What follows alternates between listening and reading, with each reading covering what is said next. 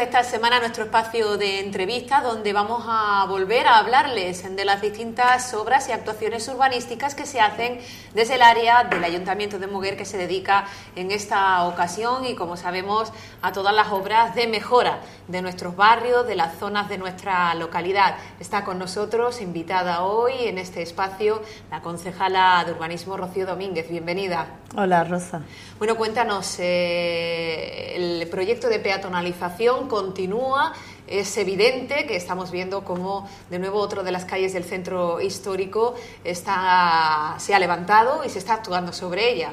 Pues sí, Rosa, como eh, era de esperar, pues la calle Almirante Hernández Pinzón mm, la comenzamos ahora dos semanitas o tres semanas aproximadamente eh, y, la verdad que, va mm, muy bien. Es una, creo que la última calle que vamos a hacer en esta legislatura del centro, ¿vale? La calle Almirante Hernández Pinzón es la que conecta la Plaza del Marqués con, la calle Vendedera. Eh, es una de las obras muy esperadas por, nuestros ciudadanos y ciudadanas, eh, ya que supone pues, prácticamente la conexión de las cuatro, de las cuatro plazas. Eh, para nosotros era una obra importante, como el resto de las obras que hemos terminado. Eh, terminamos recientemente la calle Francisco García y Diezmo Viejo. Y, esta pues era una de las principales que queríamos ejecutar, pero es verdad que nuestro pueblo con tantas actividades como en la romería, eh, Corpus Christi, Rocío, mm, Semana Santa, pues era inviable hacerla en otra fecha que la que hemos tenido que, hemos tenido que, ejecutar a la fuerza. ¿no? Eh, pues como siempre dar las gracias al equipo de, trabajo que tengo detrás, empezando por los arquitectos y terminando por todos los peones oficiales y, como no, a todos los responsables de la empresa municipal del suelo y sobre todo también de la Junta de Andalucía, que gracias a estos planes de empleo pues eh, hemos tenido la oportunidad de contar contar con jóvenes que, pertenecían al proyecto este de, de, Emplea Joven, que jamás habían trabajado y era su primer puesto de trabajo, lo han defendido eh, estupendamente y, también dar las gracias, como no, a las mujeres que, que están siempre dando la talla en, estas tareas tan duras como, como es el, que estamos ejecutando nosotros en las calles. La calle Almirante Hernández Pinzón eh, se inicia esa actuación desde la propia Plaza del Marqués y hasta dónde llega esa obra. Pues la obra, como he comentado anteriormente, Rosa, conecta la Plaza del Marqués con la calle Vendedera. Llega hasta la propia Plaza eh, calle Vendedera, incluso conectando con lo que es la Plaza eh, de la Iglesia. nosotros lo que pretendemos, que, es algo que no podemos olvidar y que no queremos olvidar, es que Moguer sea un pueblo cercano, eh, un pueblo accesible, eh, un pueblo eh, donde todos y todas pues tengamos las mismas oportunidades de movernos y para eso creo que nuestro alcalde mm, está haciendo un trabajo ejemplar. El equipo de gobierno lo apoya, pero evidentemente es el alcalde el que está RQR con que tenemos que hacer un pueblo humano.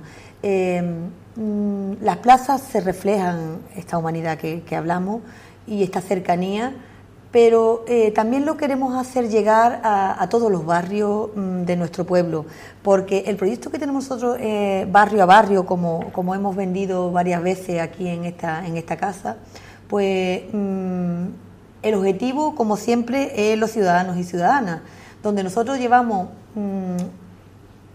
un proyecto de eliminación de barreras arquitectónicas que empieza en los barrios para conectar con el centro la proyección que ha tenido Moguer en turismo, eh, no solamente por los ciudadanos de Moguer, porque es verdad que ahora una persona mayor se da un paseo libremente y tranquilamente, incluso solo, ¿no? porque le está dando una independencia que antes no tenía, gracias a la accesibilidad que se le está dando desde, desde el ayuntamiento, ¿no? ensanchando esas acerados que, mm, que la gente pues eh, viene demandando continuamente a nuestro ayuntamiento.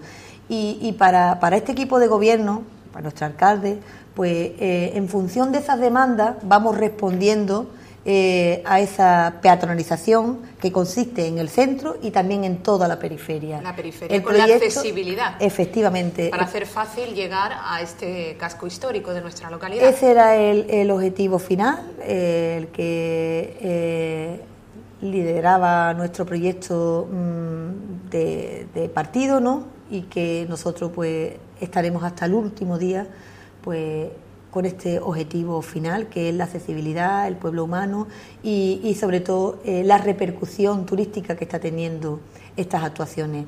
Eh, no es solamente para nuestros vecinos y vecinas, sino que eh, el propio turista pues te dice y te da, te da las gracias, sobre todo cuando tienen movilidad reducida o algún tipo de discapacidad, el que sea un pueblo tan, tan humano. Se sienten cómodos, el turismo va aumentando, como sabéis, que ya desde las distintas áreas del propio ayuntamiento pues están trabajando y haciendo un trabajo fantástico. También dar las gracias a todos los los responsables de estas áreas, de cultura, de turismo y, creo que de todo el, ayuntamiento en general.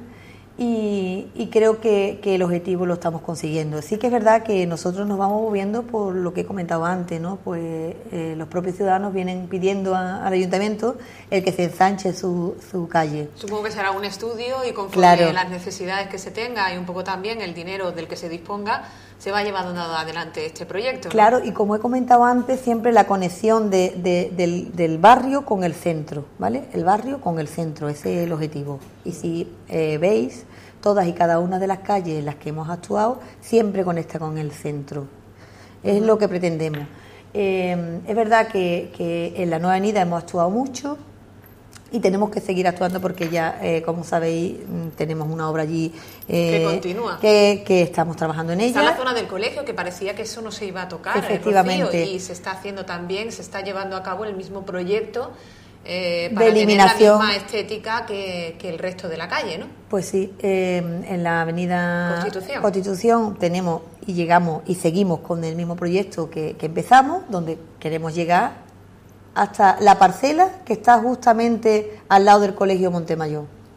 También era una obra que, hemos tenido que esperar un poquito porque era incompatible o, entendíamos que no teníamos ninguna necesidad de, hacer pasar a los niños y niñas del Colegio Montemayor eh, una mala mm, situación cuando eh, hemos, tenido, hemos tenido dos semanas aproximadamente o tres semanas parada la obra y estamos trabajando cómodamente, donde los niños pues ya no están en clase, donde los niños no tienen que entrar ni salir y, nosotros hacemos un trabajo con más, con más soltura y con menos inconvenientes. Ese proyecto de accesibilidad, uno es este, que se va completando en estos días.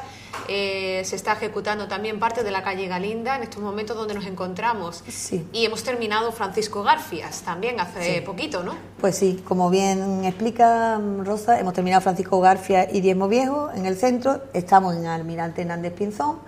Y también estamos ensanchando la calle Galinda, la calle Domingo Pérez, donde hemos empezado o mm, hemos continuado porque veníamos de la calle La Palma, hemos continuado por esa misma calle, pero sí que es verdad que en vez de con las dos aceras, pues lo hemos hecho con una sola acera. Eh, donde hemos tenido que buscar la compatibilidad de esta obra de Domingo Pérez con Almirante Hernández Pinzón, porque es verdad que allí los más afectados son los vecinos que, residen y los que tienen plaza de garaje eh, en, el Pozo Concejo. Eh, por destacar las tres obras importantes que tenemos actualmente en la calle, pues son Almirante Hernández Pinzón, que es en el centro, Domingo Pérez, que es en la periferia, pero cercano al centro, y la Avenida de Constitución. Después, pues sí que es verdad que estamos ya preparando eh, todos los desperfectos que hay en el recinto ferial. Sí, ya se estamos empezando en las casetas de feria, eh, estamos mm, eh, organizando, que ya vendremos otro día e informaremos a, todos los vecinos y vecinas de las actuaciones, el sinfín de, actuaciones que tenemos previstas y organizadas en los colegios y guarderías.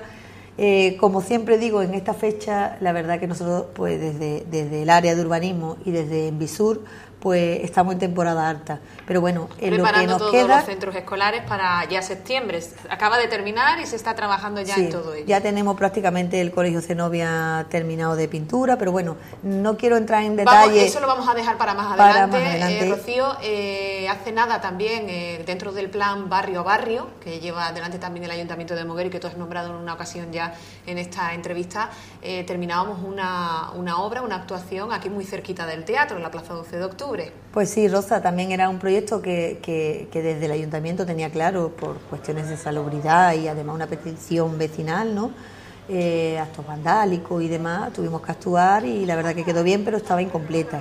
Estaba incompleta porque eh, los fabricantes de un pavimento que tenemos que poner, pues entendían que no era conveniente por la humedad, por las distintas circunstancias que se viven en invierno, el que pusiéramos ese tipo de pavimento. Y es verdad que ahí pues quitamos el parque que, que tenía, que estaba totalmente roto y deteriorado, y, y lo preparamos, lo hemos eh, prácticamente dejado nuevo, podéis todos los ciudadanos y ciudadanas mm, acercaros a, ver el parque y, y, la verdad que ha quedado en muy buenas condiciones. Cuando se eh, tenga mm, dinero para poder invertir, pues a lo mejor se le aumentará el número de, jueguecitos y estamos abiertos para, mejorar siempre la vida de los ciudadanos y ciudadanas de, nuestra localidad.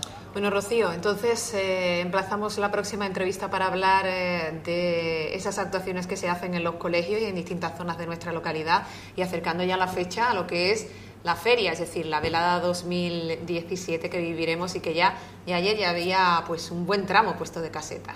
Pues sí, yo me gustaría darle las gracias al pueblo de Mogué, a, todos los colaboradores y colaboradoras que, se acercaron en el incendio al pabellón, al polideportivo de Moguer, donde yo todavía pienso y se me ponen los pelos de punta Mm, lo orgullosa que me siento de mi pueblo, lo orgullosa que me siento de mi gente y desde aquí le quiero dar las gracias. Y, de verdad que mm, ni a soñar que yo me echara, mm, sobre todo en los jóvenes, eh, la cantidad de personas que se acercaron es increíble. Darle las gracias. Además venían de corazón dispuestos a hacer lo que hiciera falta por apoyar y ayudar a nuestro pueblo. Así que gracias y mil gracias. Vale, Rocío, pues nos quedamos con ese agradecimiento a todas las personas que mostraron eh, su solidaridad en esos momentos tan difíciles y seguiremos hablando contigo en varias ocasiones en este verano. Gracias, Rocío. Gracias a ti, Rosa.